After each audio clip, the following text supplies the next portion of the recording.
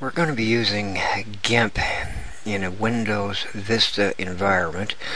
Uh, GIMP uh, is an open source uh, graphic imagery photo manipulating software. Uh, it's also available for Linux um, and uh, both uh, dashboards are virtually identical for Windows and for Linux. So what we're going to do, we're just going to see how to set up the work uh, the, the work uh, disk. Uh, so I'm going to go to my programs and uh, fire up old GIMP. Uh, GIMP 2. I'm running. I'm using GIMP 2.6.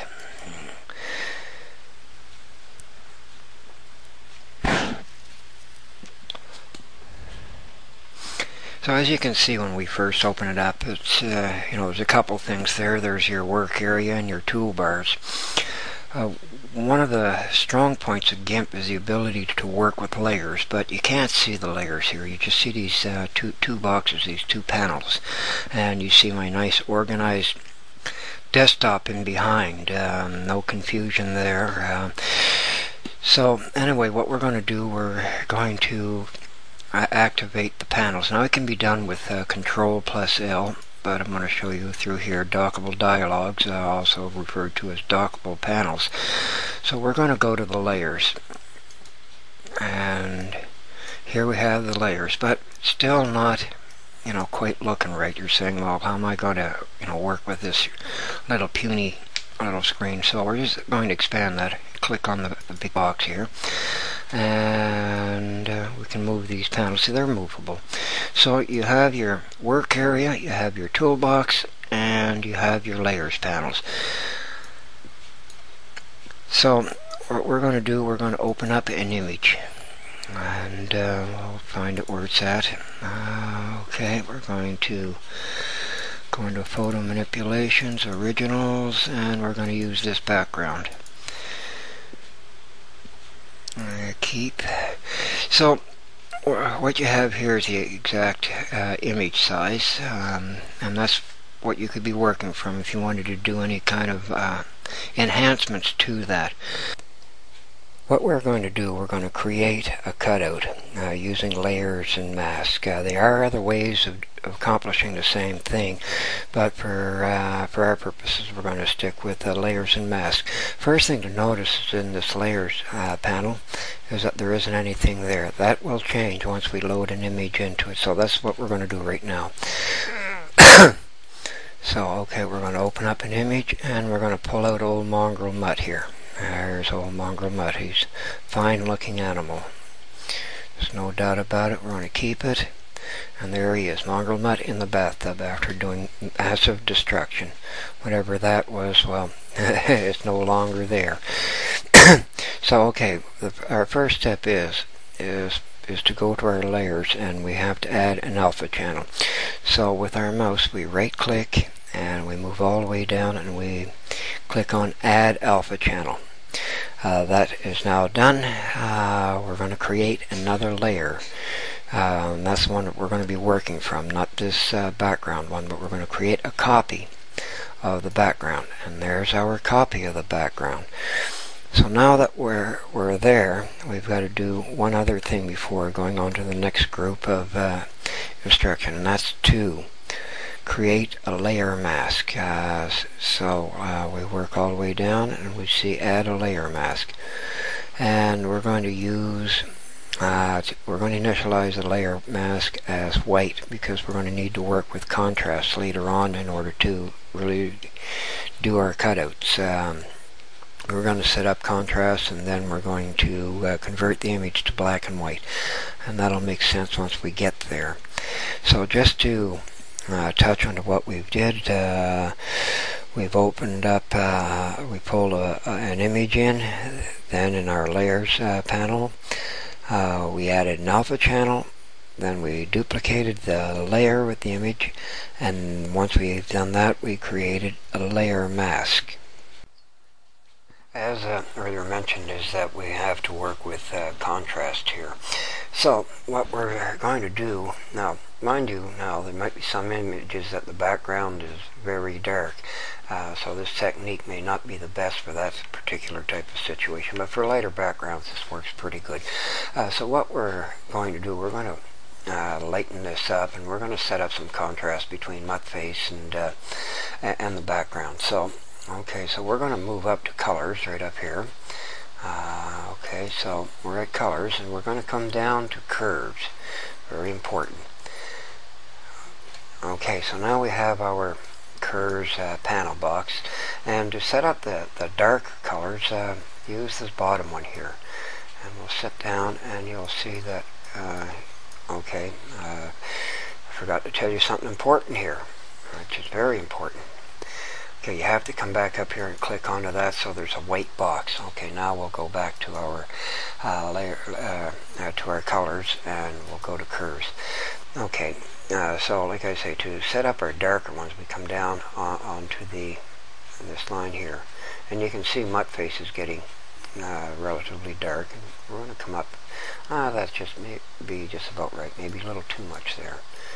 Uh, okay, so we have that. Now we're going to lighten up uh, the, the other part of it. So we're going to come up to the top part here, and as you see, you know, as I move that towards the left, it gets lighter and lighter. Uh, okay, so that's uh, going to be about right. I don't know if I can get, if I get, too, if I get too crazy with it. Of course, uh, it's not good. So we've got to find a happy milieu there. Uh, okay, so basically what I'm kind of looking for, well, I've got something down here with his tail. So I'm going to adjust that. I'm going to see what happens if I lighten him up over this side here. I say, it's in trying to find a, a happy balance here. Okay, just a little bit more up. Uh, okay, so what I'm trying to do is, you know, trying to free him as much as possible. Maybe a little bit more. There we go. That's just a tad. Okay, now the dark ones up here, you know, they're still there. That's what I mean is if uh, you get a background that's too that's too dark, that could uh, run you into problems. Uh, so, okay, so we've got that all nice and set up and everything. So what we're going to do is, uh, well, let me see, we could, uh, we could change this around and uh, try eraser here, if I can find my eraser, there it is, see if we get anything here. Uh, let's set up our, our uh, brush size. Okay, that's not going to work. It's coming out as a different color. Uh, Z. Okay, so I'll try painting that. Uh, same thing. Let's set that up a little higher. There we go. We can get rid of that and that, and we'll get rid of that here. And we'll get a lot of rid of this stuff here that we don't need. So there we go. We get a lot. Just work this out really quickly. Blank that out.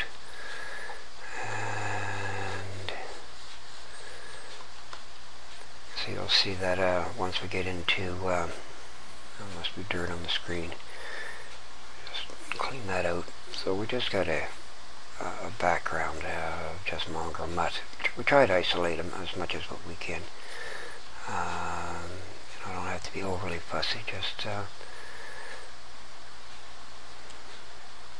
clean about as much as we can. Oh, what's that right there? There we go. And so, okay, so we've kind of isolated him. So what we're going to do now, we're going to change him from uh, color to black and white.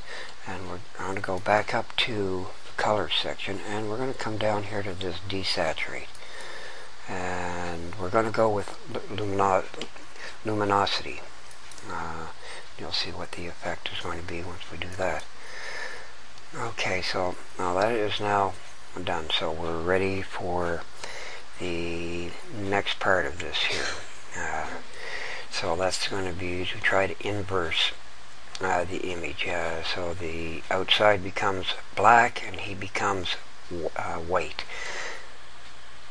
Uh, just as just mentioned is now what we have to try to do is uh, do an inverse and that's going to be the reverse. He's going to become white and the background is going to become black and you'll see it'll all make sense uh, so just bear with me.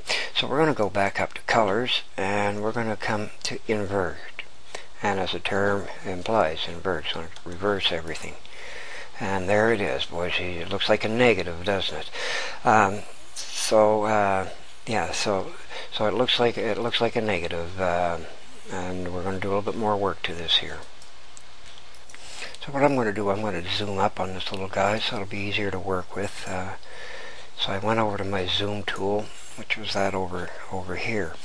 Uh, okay, now I'm going to go to my paintbrush uh, because what we're going to do is try to get as much weight into him as uh, as possible. And uh, okay, we got a nice brush here. So I'm just doing this quickly here. I try to get them as much as uh, as possible. Like I said, I'm going through this quick, and it's just more or less to give you an idea. Uh, of course, the more you pay attention to detail, uh, the better your end product is going to be. Uh, okay, so get up along here, and uh, shrink my brush down size a little bit more to about a 3 so I can get up into his ears. And we do it, like I said, I'm doing this quite quite quick. Uh, now there's a reason I'm leaving these little edges out, and uh, you'll, you'll, you'll see that. Okay, so... And... Okay. Uh, so, what am I missing here?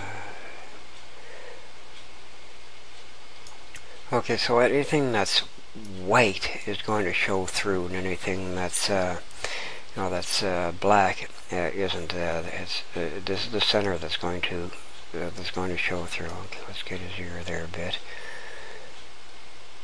Okay, so we now have that done.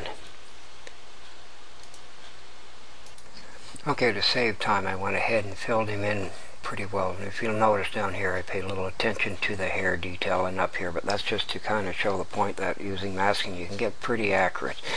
Uh, but before we get going, I made a mistake up here. It was this one here that we were supposed to put the uh, mask to. So when you make a mistake, uh you have to fix it. And of course, I'm going to delete that that layer mask. There we go. And then I'm going to add it to here where it's supposed to be and that add layer mask uh, full opacity yep uh, just like what we did before so there we go we, we're back in business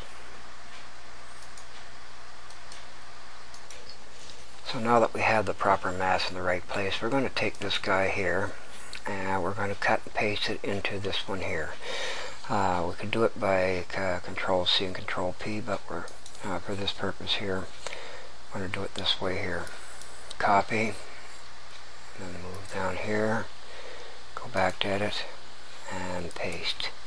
And you'll notice something neat's happened up here. Uh, we've got this little guy right, uh, you know, uh, right there, right there. That's that's that's happened. So that's kind of uh, uh, different, but it's telling you that you're on the right track.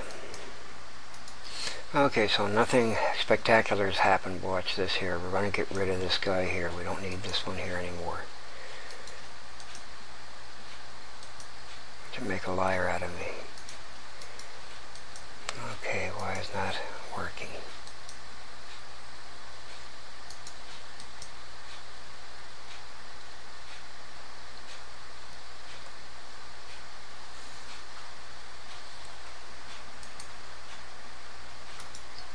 So what we're going to do is we're going to copy this and put it into here, but we're going to cut and and copy. So how we're going to do this here, we're going to come up over to the edit and we're going to cut. make sure that I have this guy highlighted. There we go. Always double check um, because you can uh, do a lot of work and then uh, find that you've uh, end up spending time in trying to correct problems that you've uh, fixed. So okay, so now we're going to do a cut. He's gone and we're going to come over to here and we're going to paste it and we come back to uh, the edit thing and we do a paste. And look at that. We now have a a, a background, or we have a foreground, and it's on a transparency. Now to